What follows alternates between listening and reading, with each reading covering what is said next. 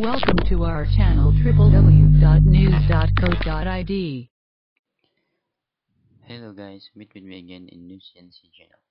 In this tutorial, I'm gonna show how to using math function using Microsoft equation in Microsoft Word. Okay, first open your Microsoft Word. After that, you can showing the math function using keyboard. You can press Alt plus or plus E plus O plus and then M. I will show first you can see. I will press Alt E and then O and then M like this. And then click OK. This is uh, the math function guys. For example I will using this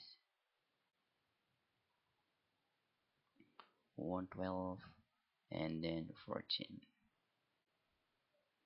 then like this and for space you can control the space like this. Okay? For example like this. And for the second method you can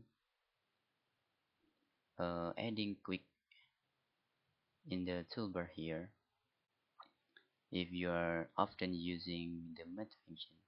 For example if you are a teacher or dozens you can just click this Microsoft Office button then click in words options and just customize. And then you can select all comments. After that adding your call object here. Object. This is and then click add here and click OK. And you can very fast uh, if you are using if you want to using Microsoft equation. Just click here and then just press M and click OK. Okay for example like this. This is very very complete math equation rather than using normal function in Microsoft Word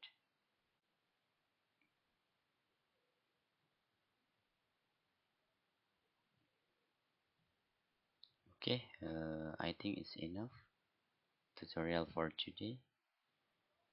Thanks for watching and bye bye